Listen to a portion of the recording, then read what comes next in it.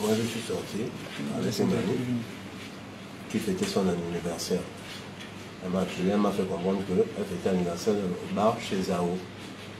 C'est comme ça que je, suis arrivé. Je suis rentré, on, on était assis.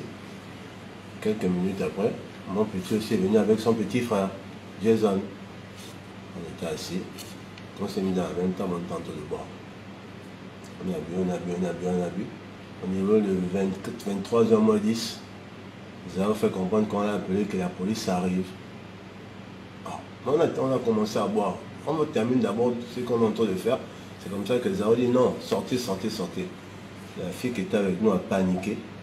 Elle est sortie la première. A dit non, moi je termine d'abord ma boisson avant de sortir parce que s'il savait qu'il y avait le couvre-feu, il avait dit en sorte qu'on ne puisse pas sortir. Elle est sortie. Au moment elle sortait, avec la panique, au niveau du carrefour L'Amitié, il y avait deux militaires qui étaient cachés. Ils l'ont attrapé. À distance, c'est comme ça que j'ai dit au petit que non. Mais la fille qui était avec nous, voyait les militaires qui l'ont attrapé. Je ne sais pas, pas les militaires. Il y a deux messieurs qui l'ont arrêté là-bas. Il y avait un peu le noir. C'est comme ça qu'il me dit, allons, allons, on va voir ça. C'est comme ça qu'on est parti. On arrive, on arrive à un niveau 5. Je dis, oh, c'est les militaires. Il me dit, moi je m'en fous. En tout cas, je n'ai rien fait. La fille doit libérer la fille. Moi j'ai dit, allons, allons. Au où je tentais de reculer un peu, un peu, un peu, moi j'ai commencé à courir, discuter aussi, il il avait un peu bu. Quand j'ai commencé à courir, au moment s'est rendu compte que les militaires ne font que se regrouper, il veut me suivre. Moi j'ai pris le tournant. Je suis rentré dans une entrée, il m'a suivi. Moi j'ai pris la gauche, lui a pris la droite. Moi je suis allé, je suis tombé au canal. Quand je suis tombé au canal, ils sont venus m'attraper. Lui il est là-bas, après j'ai écouté, poum Je n'ai pas vu ce qui s'est passé. À un moment, ils m'ont ils ont commencé à me taper. J'avais mon téléphone à la main. Je sens que ils se concentrent plus sur le téléphone. J'ai dit attends, ça c'est quel couvre-feu que vous me tapez les matraques à la tête. Dieu tué qui? Prenez-moi, amenez-moi au poste, vous me gardez. Ça me tape, ça me tape rien que pour m'arracher mon téléphone. Je reconnais bien le militaire là. Ils m'ont tapé, tapé, tapé, tapé. Après, ils m'ont arraché le téléphone, ils m'ont mis les matraques dans la tête, ils m'ont amené dans la voiture. Mais là, maintenant où il est rentré, je voyais en train d'arriver là-bas, il est mouillé. Il saigne. Moi, je suis monté, on l'a mis sur mes pieds. Ça lui tapait toujours, le militaire lui tapait, lui tapait, lui, ça l'a tapé. Il a dit, je me touffe, je suis fatigué, je me touffe, je suis fatigué. Ça ne faisait que toujours le taper. Ça tapait, je me touffe. Moi, quand je vais parler, ça me tape, ça me tape. Moi, j'ai gardé mon sang-froid, je n'ai plus voulu parler. Ils ont parlé, qu'ils ont parlé. Un moment, il a dit, je me touffe. Ils, ils nous ont balancé la voiture, il y avait deux autres côté. Au niveau de chez au charbon, il est sorti avec la force. Que ça ne va pas, ça ne va pas, ça ne va pas. Je, je me touffe, je me touffe. Le militaire dit, tu es un menteur, ça c'est vos caprices, tu es un menteur. Mais il s'étouffe, il m'a encore giflé.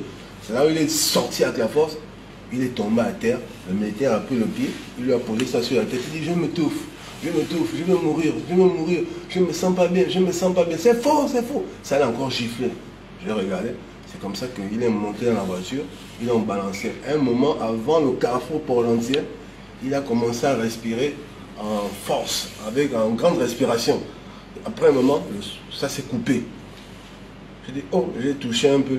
J'ai senti que le pouls, il n'y avait plus le pouls. Mais j'ai gardé le sang parce que si j'ai parlé, il devait encore me taper. Arrivé euh, au B2, ils nous ont fait descendre. Le militaire me fait comprendre que soulève le dit mais il est mort.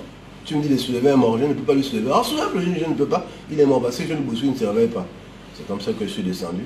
Ils m'ont donné la place, je me suis assis. Ils l'ont soulevé, ils l'ont balancé. Quelques minutes après, ils ont appelé les gens qui étaient à la base, les gens qui contrôlaient l'opération. Après un moment, tous sont allés se concerter. Ils vont se concerter à côté. Après le matin, ils font comprendre que non, moi j'ai voulu les taper le fer. Je leur dit que ça, ça c'est des conneries. Vous allez tomber. Si je crois que vous allez trouver que je voulais vous taper le fer, quel fer j'ai tapé? Vous m'avez tapé, vous voulez la saisir de fer.